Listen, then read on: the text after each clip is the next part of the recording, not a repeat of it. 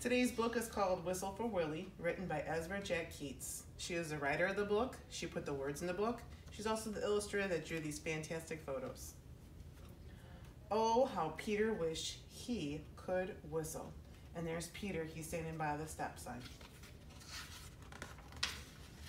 He saw a boy playing with his dog.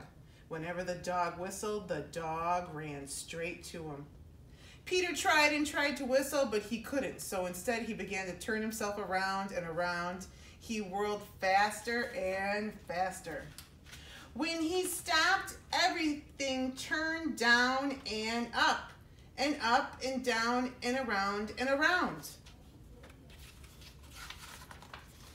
Peter saw his dog, Willie, coming. Quick as a wink, he hid in an empty carton lying on the sidewalk. Wouldn't it be funny if I whistled? Peter thought. Willie would stop and look all around to see who it was. Peter tried again to whistle, but still he couldn't. So Willie just walked on. Peter got out of the carton and started home.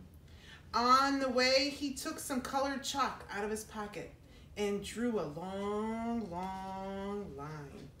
There's the chalk line. He even went around the girls jumping rope.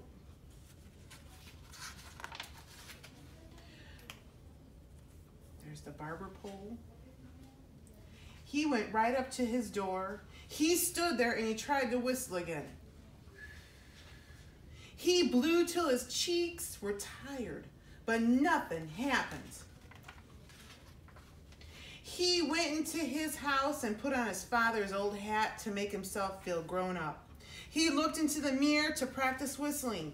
Still no whistle. When his mother saw what he was doing, Peter pretended that he was his father. He said, I've come home early today, dear. Is Peter here? His mother answered, Why, no, he's outside with Willie. Well, I'll go out and look for him then, said Peter. First, he walked along a crack in the sidewalk. Then he tried to run away from his shadow. And if you see here, he is tiptoeing and his shadow is behind him. He jumped off of his shadow, but then he landed. They were together again. So he jumped up and he landed back on top of it.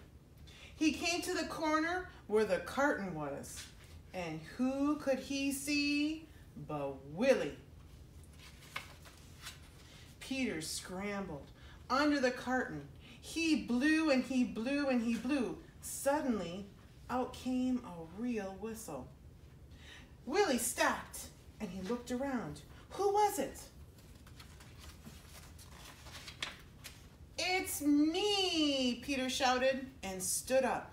Willie raced straight to him. Peter ran home to show his father and mother what he could do. They loved Peter's whistling.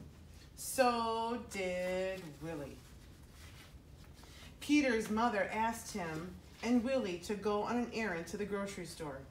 He whistled all the way there and he whistled all the way home. The ends.